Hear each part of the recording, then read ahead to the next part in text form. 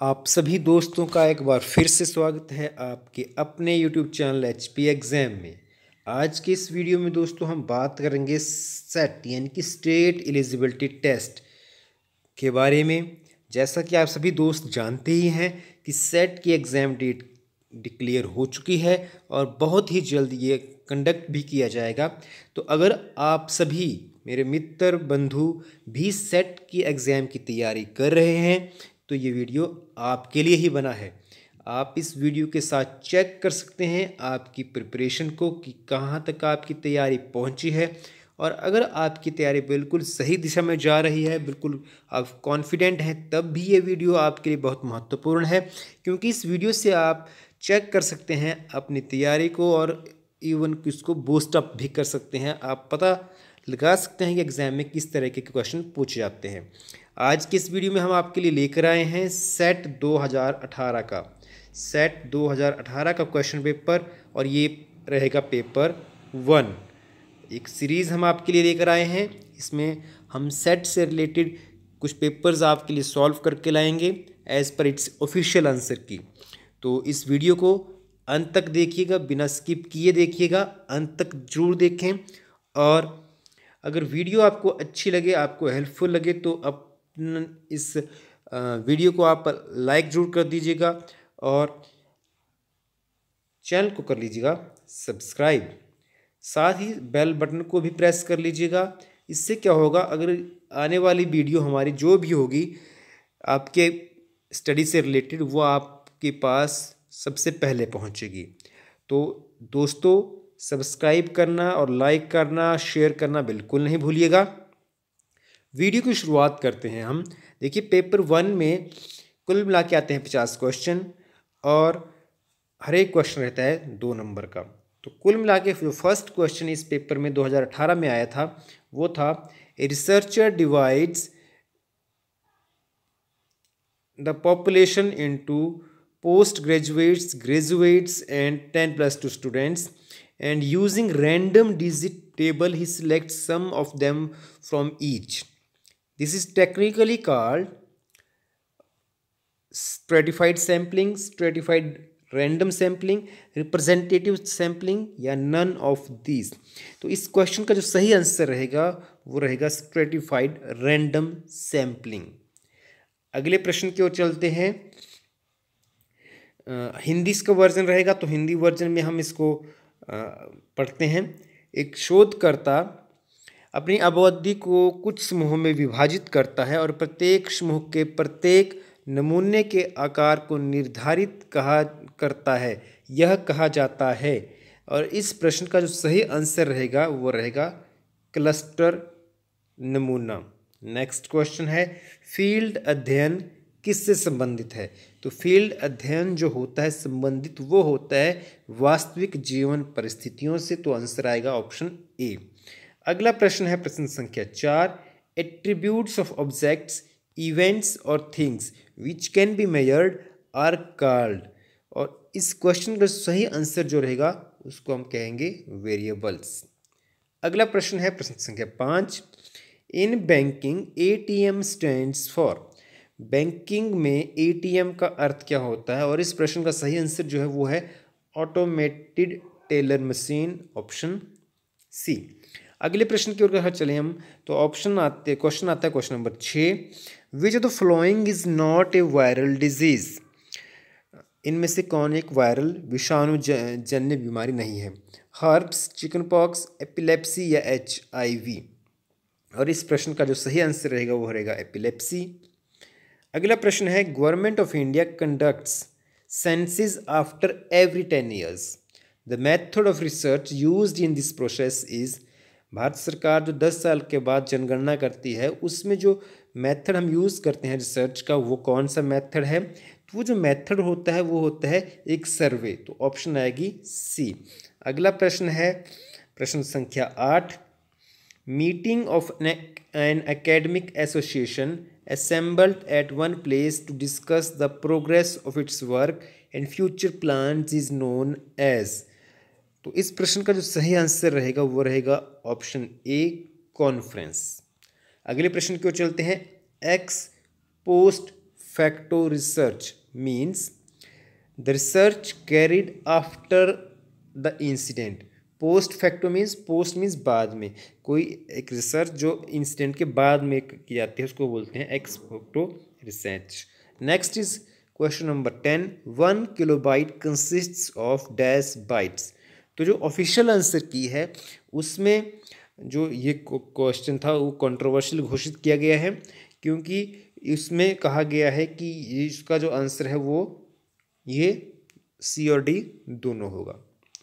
Next question is question number eleven all India radio यानी कि A I R for broadcasting was named in the year और इस प्रश्न का सही आंसर है नाइनटीन थर्टी सिक्स उन्नीस सौ छत्तीस में।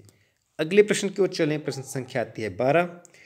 प्रश्न बारहवा है when two or more successive footnotes refer to the same work which one of the following expression is use तो इस प्रश्न का जो सही आंसर जो रहने वाला है, वो रहने वाला है option A I B I D next question आता है, question number thirteen.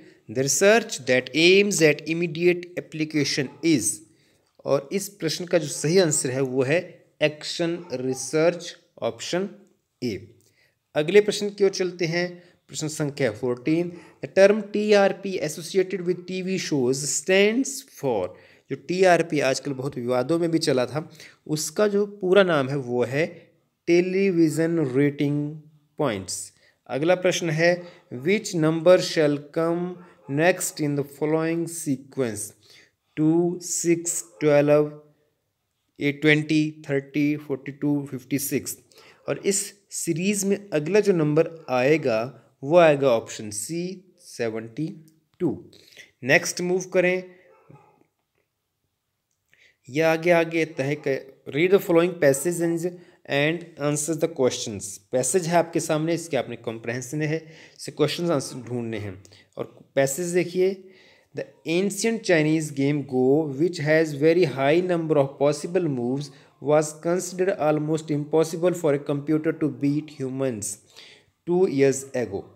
Last year, AlphaGo, a pro Go program designed by two Go players, the, beat the best professional Go player Lee Sedol in a five-match game. Machine learning thus breast even the bastion of strategic thought, impossible foods. A fourth industrial revolution technology company makes a plant based food that smells tastes and looks like real meat it threatens the future of 90 dollar billion meat industry if only 20% of world population switches from eating real meat to alternative proteins it would free up 12% of total fresh water free 400 million hectare of land and 960 megatons of carbon dioxide emission. Traditional manufacturing and service oriented industries are being disrupted in a manner we have never seen before. The first industrial revolution was triggered by the invention of steam engine which led to mechanical production the second industrial revolution, catalyzed by industry and the assembly line, made mass production feasible and was catalyzed by the discovery of electricity and assembly line. The third industrial revolution from the 1960 onward was driven by computers, digital technology and the internet. The fourth industrial revolution is being driven today by the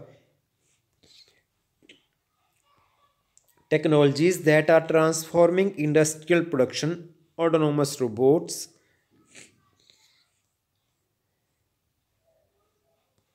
simulation, big data and analytics, augmented reality, the cloud, cyber security, additive manufacturing, horizontal and vertical integration, the Internet of Things and artificial intelligence and AI. These technologies are impacting the entire production value chain from design to productivity, speed and quality of production. there is widespread concern over the potential impact of the fourth industrial revolution on, on employment. A vast range of jobs are at the risk of extinction and rapid scaling cloud led to accumulation of job losses.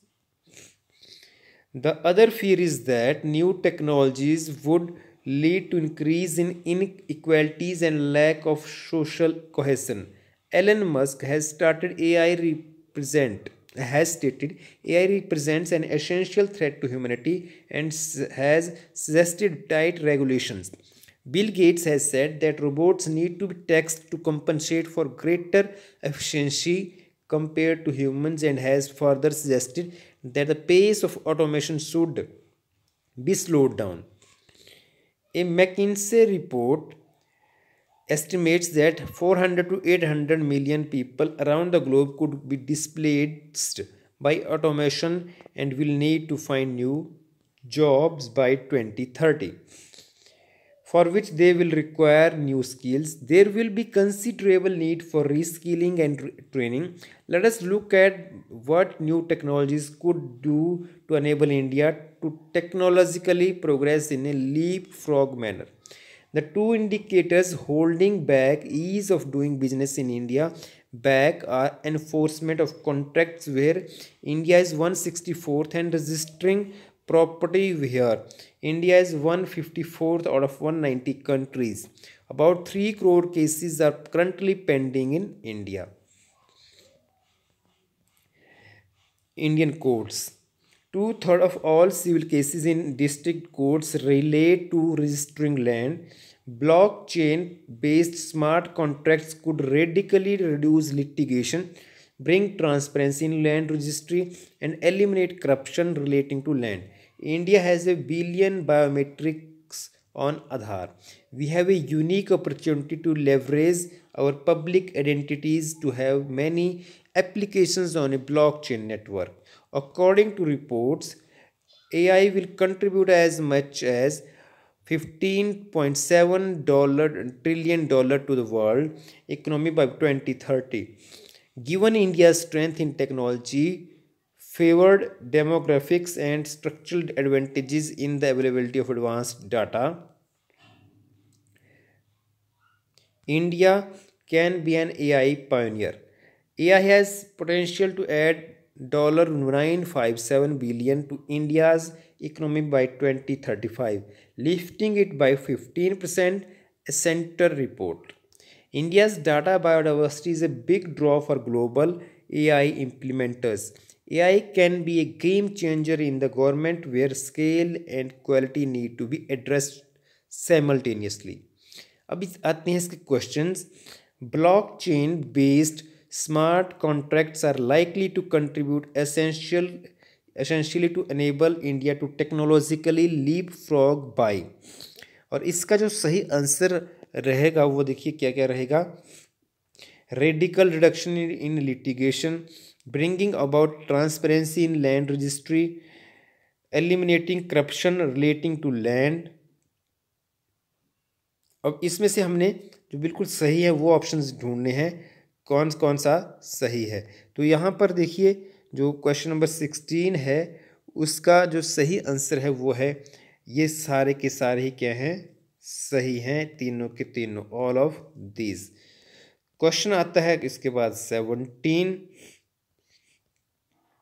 the incident that best professional go player Lee Sedol lost against the computer based Alpha Go program indicates that option it has become impossible for a computer based program to beat beat human in efficiency ये सही है। उसका advancement in computational technology has enabled computer based programs to surpass human intelligence humans are gradually losing their efficiency और fourth है human intelligence is increasingly becoming degraded. और इस question का जो सही आंसर देखिए रहने जा रहा है, वो है, इनमें से कौन कौन सही है? इनमें से पहला और दूसरा सही है, तीसरा और चौथा क्या है? गलत है। Option C. Next question number eighteen. According to Elon Musk, which component of fourth industrial revolution poses an essential threat to humanity? और इस क्वेश्चन का जो सही आंसर रहेगा, वो क्या आंसर रहेगा? आर्टिफिशियल इंटेलिजेंस इनकी एआई अगला प्रश्न क्वेश्चन नंबर उन्नीस है। उन्नीसवा प्रश्न है the potential impact of new technologies that are arising in the area of fourth industrial revolution is that option these would lead to extreme loss of job opportunities with a greater livelihood of accumulation of unemployed people उसके बाद these would create enough job opportunities for meeting the needs of class of society that is unemployed तो ये तो option गलत है। That third है these technologies are likely to disturb the social equality तो ये भी सही है। तो इसमें से ऑप्शन जो सही बन रही है, वो बन रही है बोथ वन एंड थ्री यानी कि ऑप्शन डी नेक्स्ट मूव करें question number twenty there is concern that the current pace of with current pace of automation no matter how efficient it might be can never compare to human being labor second is it is less efficient as compared to humans and thus is unable to serve any essential purpose और तीसरा है it is likely to create considerable need for reskilling and training for finding new job ये सही है और उसके बाद चौथा है it is likely to replace human in various fields leading to rapid accumulation of unemployed people ये भी सही है तो तीसरा और चौथा सही है यहाँ पर। तो ऑप्शन यहाँ पर जो आ रही है, वो आ रही है ऑप्शन डी नेक्स्ट मूव करें। Question number twenty one the constitution of India was adopted on तो भारत का संविधान जो एडॉप्ट किया गया था, वो किया गया था 26 नवंबर उन्नीस को ऑप्शन ए अगला प्रश्न है who among the following was first chief governor general of British India और इस प्रश्न का जो सही आंसर है, वो है लॉर्ड विलियम बेंटिक अगला प्रश्न है the chief justice and other जजेस of high court are appointed by और इस प्रश्न का जो सही आंसर है, वो है प्रेसिडेंट अगला प्रश्न आता है zero was invented by Aryabhata. अगला प्रश्न आता है प्रश्न संख्या पच्चीस, Velikonda hills which is a part of eastern Ghats is situated in तो वेलीकोंडा हिल जो हैं, वो सिचुएटेड हैं आंध्र प्रदेश में। अगला प्रश्न है, प्रश्न संख्या है ट्वेंटी सिक्स और ट्वेंटी सिक्स प्रश्न संख्या है which of the which one among of the following states है shares boundaries with largest number of states और इस प्रश्न का सही आंसर है यूपी अगला प्रश्न है प्रश्न संख्या twenty seven the timber of which of the following tree is use for making cricket bats और इस प्रश्न का सही आंसर है विलो अगला प्रश्न है G D P means gross domestic product option A question number twenty nine vinegar contains vinegar contain acetic acid option A next question is question number twenty thirty the first talkie in film in India was और इस प्रश्न का सही answer है option A Alam Ara. अगला प्रश्न है प्रश्न संख्या इकतीस, और प्रश्न संख्या इकतीस है the central leather research institute C L R I is located in which Indian state और इस प्रश्न का जो सही आंसर है वो है ऑप्शन बी तमिलनाडु अगला प्रश्न की ओर चलते हैं। World environment day is celebrated every year on June fifth next Murari has a total और rupees two hundred ten in one rupee fifty paisa and twenty five paisa coins they were in the ratio two point five is two three is two four how many one rupee coins were there और इस question को जब आप solve करेंगे तो solve करने के बाद जो आंसर आएगा, वो आएगा एक सौ पाँच। अगला क्वेश्चन है which is the largest among five upon eight two upon three seven upon eight nine three upon five इसमें लार्जेस्ट ढूंढना है आपने। तो लार्जेस्ट जो है, इस सीरीज़ में यह जो क्वेश्चन दे रखा है, इसमें जब सॉल्व करने के बाद आपको मिलेगा seven upon nine Next question is question number 35. Which one is the odd number in the series? 154, 235, 352, 7, sorry 416, 324 और इस सीरीज़ में जो ऑड नंबर है वो है option C two hundred thirty five next move करें क्वेश्चन नंबर आता है thirty six question number thirty six जो है वो है one seventeen hundred millilitres is equal to is equal to one point seven litres next is thesaurus tool in M S Word is use for और इसको question का जो सही answer है, वो है option B synonyms and antonyms word next is question number thirty eight which of the following can be use to select the entire document और इस प्रश्न का जो सही आंसर है, वो है control A option one is thirty ninth question you may accidentally erase a record in the sheet what command can be use to restore it immediately तो इस प्रश्न का जो सही आंसर है वो है अंडू अब अंडू किसी को एकदम से करेंगे तो वो चीज़ रिप्लेस मतलब रिकवर हो जाएगी. Next is computer on internet is identified by इस प्रश्न का सही आंसर रहेगा IP address option B next move करें क्वेश्चन नंबर आता है forty one forty one question है forty percent of five is चालीस पाँच का चालीस प्रतिशत क्या हो, होगा? पाँच का चालीस प्रतिशत जो होगा वो होगा ऑप्शन जब सॉल्व करेंगे तो ऑप्शन सी दो next is A and B are brother A और बी जो है ब्रदर सिस्टर हैं आपस में। C is A is father C A का फादर है. D is C is sister D C की बहन है. E is D is mother और ई e जो है डी की मदर है. How is B related to E तो बी जो है ई e से कैसे संबंधित है? क्वेश्चन है ये. और जब इसको सॉल्व किया जाएगा तो आंसर आएगा granddaughter next question is forty three which of the following is a state university इनमें से कौन सी स्टेट यूनिवर्सिटी है? B H U Banaras Hindu university Delhi university Tezpur university या मद्रास यूनिवर्सिटी तो सही आंसर जो है यहाँ पर है, वो है मद्रास यूनिवर्सिटी अगला प्रश्न है, Kathakali Mohiniyattam and Ottan Thullal Thullal are the famous dances of Kerala Kerala Kathakali Mohiniyattam जो है केरला के बहुत प्रसिद्ध डांस हैं। तो ऑप्शन सही आंसर आएगा A next is absorption of ink by blotting paper in walls तो ब्लॉटिंग पेपर जो है जो इंक को एब्जॉर्ब कर लेता है, वो एक्शन जो होता है, उसको बोलते हैं capillary action phenomenon option B next move करें question number forty six the reaction which converts sugar solution into alcohol is fermentation next normal blood pressure of human being is one twenty upon eighty next question is one 48 oldest tennis tournament in the world is Wimbledon. Next question is question number forty nine and fifty यहाँ पर आपको एक table दे रखा है M N P Q R S T यहाँ पर ये देखिए एक सीरीज़ दे रखी है यहाँ पर। ये कोई इंस्टीट्यूट्स के नाम हैं ये, और यहाँ पर आपको ग्रेजुएट्स और नॉन पोस्ट ग्रेजुएट स्टूडेंट्स जो हैं टोटल स्ट्रेंथ दे रखी है और इनकी परसेंटेज दे रखी है हर एक इंस्टीट्यूट में कितनी कितनी है। आगे इससे रिलेटेड कुछ क्वेश्चंस हैं। क्वेश्चन है पहला what is the total number of graduate and post graduate level students in institute R तो इंस्टीट्यूट आर देखिए, सबसे पहले यहाँ पर है और ये है इंस्टीट्यूट आर यहाँ पर ग्रेजुएट और पोस्ट ग्रेजुएट स्टूडेंट्स के टोटल नंबर पूछा है। तो सबसे पहले आप इसका जो है